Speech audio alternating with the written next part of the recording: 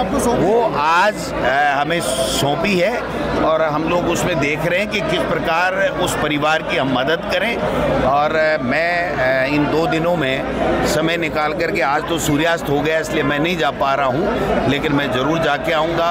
उनको सांत्वना भी देंगे उनको मदद भी करेंगे और उनको न्याय भी दिलाएँगे। सुप्रीम कोर्ट ने आज फैसला बहुत अच्छा किया है। बिल्कुल ये कानून में पूर्व से स्थापित है कि किसी व्यक्ति पे आरोप लगने मात्र से वो दोषी नहीं हो जाता है। उसको कोर्ट में ट्रायल फेस करनी होती है और दोषी होने के बाद में भी जिस जुर्म में उसने अपराध किया है और दोष सिद्धि हुई है, उसी में सजा होगी, उसके विपरीत नहीं हो सकता। ये तो सस्ती लोकप्रियता के लिए जो योगी जी कर रहे थे, उसी पे हमारे मुख्यमंत्री जी चल रहे थे।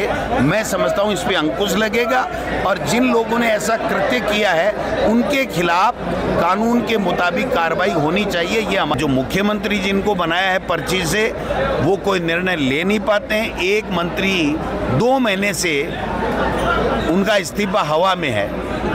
अब वो कल ये कह रहे हैं कि मुझे पता ही नहीं मैं क्या हूँ और मैं मंत्री हूँ कि नहीं हूँ। आज प्राकृतिक आपदा आई हुई है, बरसात है, अतिवृष्टि है किसी की मदद करने की बात है, कृषि का समय है, किसानी का समय है, और कृषि मंत्री को पता नहीं, मैं हूँ कि नहीं। मुख्यमंत्री, प्रधानमंत्री जी से कल मिल के आए हैं। आज की तारीख में तो कम से कम इनको जवाब देना चाहिए। इसका मतलब ये हुआ कि प्रधानमंत्री, भारतीय जनता पार्टी, मुख्यमंत्री, ये सारे के सारे निर्णय करने में असक्षम है कि ये किरोड़ी लाल जी मंत्री हैं कि नहीं हैं, इस बात का निर्णय नहीं कर पा रहे हैं और किरोड़ी लाल जी काम नहीं कर रहे हैं। तो आप समझिए कि जो दशा बना दी है इन्होंने प्रदेश की, आज अपराध चरम के ऊपर है, अपराधों पे कोई अंकित नहीं है। रोज़ाना आए दिन हमारी मासूम बेटियों के साथ में बलात्कार होता है, कानून व्यवस्था नाम नहीं है कि नाम की कोई चीज़ नहीं है। रोज़ाना ट्रेप किए जा रहे हैं, पकड़े जा रहे हैं लोग बाग एसीडी पकड़ रही है। तो कहाँ से इन्होंने भ्रष्टाचार खत्म कर दिया?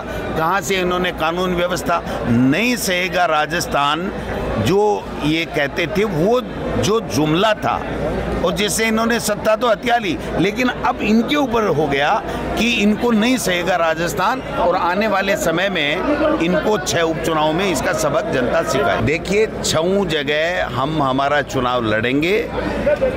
गठबंधन कभी भी किसी भी रूप में कहीं भी लोकसभा हो, विधानसभा हो या किसी भी स्तर पे होता हो तो आला कमान के स्तर के ऊपर होता है। हमारे पास इस तरह की आज की तारीख में कोई बात है नहीं। गठबंधन का फैसला अगर कोई होगा, अभी तक इसकी चर्चा नहीं है तो वो पार्टी आला कमान करेगा। हम छऊ जगह चुनाव लड़ने के लिए तैयार हैं और जीत के दिखाएँगे। ये हमारे प्रदेश का दुर्भाग्य है। कि एक इस प्रकार का प्रदेश का शिक्षा मंत्री है, जो शिक्षा के बारे में कभी नहीं बोलता, बच्चों को कैसे संस्कारित शिक्षा दी जाए, कैसे क्वालिटी की एजुकेशन दी जाए, कैसे टीचर्स वहाँ लगा करके अच्छी पढ़ाई कराई जाए, उसके ऊपर बयान नहीं देंगे।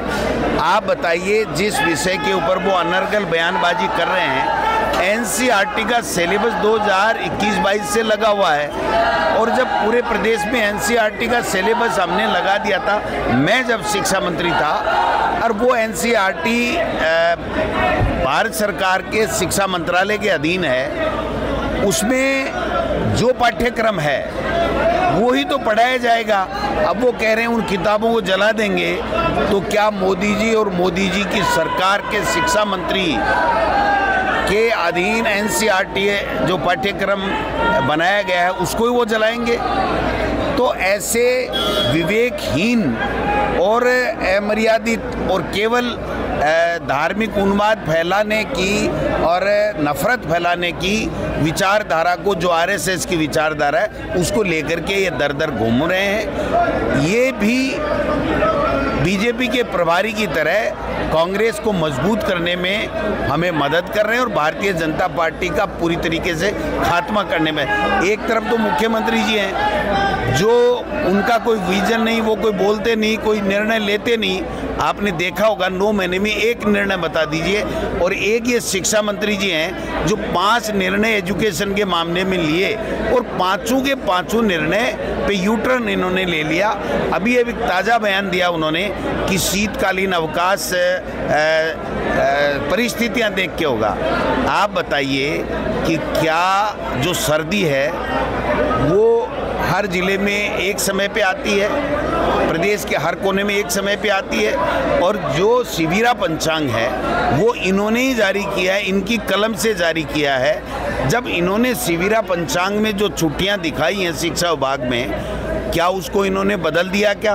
और बदल दिया तो आप बताइए, जो अवकाश होते हैं, वो पूर्व निर्धारित इसलिए किए जाते हैं, जो मैं समझता हूँ, मैं शिक्षा मंत्री रहा हूँ, जिससे हर व्यक्ति टीचर हो, अभिभावक हो, बच्चा हो, वो अपने आगे का कार्यक्रम तय कर लेता है कि मुझे कहाँ जाना है, कहाँ उन छुट्टियों में समर वेकेशन में क्या प्लानिंग करनी है। ये मर्ज़ी है जैसे कह रहे हैं कि साहब जहाँ जहाँ जब जब सर्दियाँ होगी तब तब कर दूँगा। दो दिन पढ़ेंगी फिर एक महीने नहीं पढ़ेगी फिर एक दिन पढ़ेगी तो क्या ऐसे फैसले करेंगे? इसलिए कि शिक्षा से संबंधी कोई फैसला नहीं कर रहे हैं। इनको आरएसएस ने केवल इसलिए छोड़ रखा है कि आप अनर्गल बयानबाजी करो, कांग्रेस के नेताओं को गाली दो हिंदू मुस्लिम की नफरत फैलाने का काम करो। मैं समझता हूँ कि ये प्रदेश का दुर्भाग्य है कि जो मुख्यमंत्री जिनको बनाया है पर्ची से, वो कोई निर्णय ले नहीं पाते हैं। कल का मेरा कार्यक्रम खेरवाड़ा और ऋषभ देव में कार्यालयों का उद्घाटन का है और कल ही सलूम्बर में बैठक करेंगे कार्यकर्ताओं की। और उसके बाद में हम लोग चौरासी में भी बैठक करेंगे। कांग्रेस पूरी तरीके से तैयार है, कार्यकर्ताओं का जोश और जुनून आप देख रहे हो। छः की छः सीटों में भारतीय जनता पार्टी शून्य रहेगी।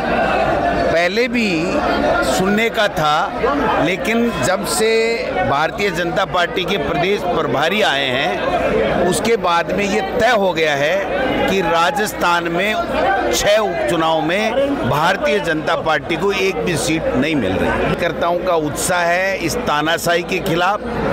ये जो जुल्म कर रहे हैं उसके खिलाफ और जिस प्रकार शांतिपूर्वक अपना विरोध प्रदर्शन कर रहे बच्चों को जिस प्रकार से भारतीय जनता पार्टी के नेताओं ने और मुख्यमंत्री जी ने, जो गृह मंत्री भी हैं, उन्होंने इन बच्चों को प्रताड़ित करने का काम किया। मैं समझता हूँ कि इन्होंने इनको जगाने का काम किया है और ये जगे हुए शेर के बच्चे आप देखना, उपचुनाव में इस भारतीय जनता पार्टी को सुनने के ऊपर समेटने का काम करेंगे।